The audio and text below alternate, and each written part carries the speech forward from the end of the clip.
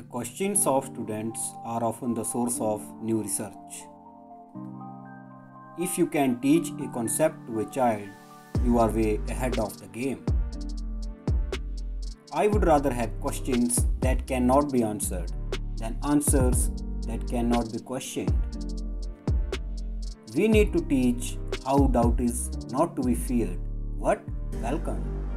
It's okay to say, I don't know. If you want to master something, teach it. The more you teach, the better you learn. Teaching is a powerful tool to learning. Thanks for watching and happy Teachers Day, to all of you.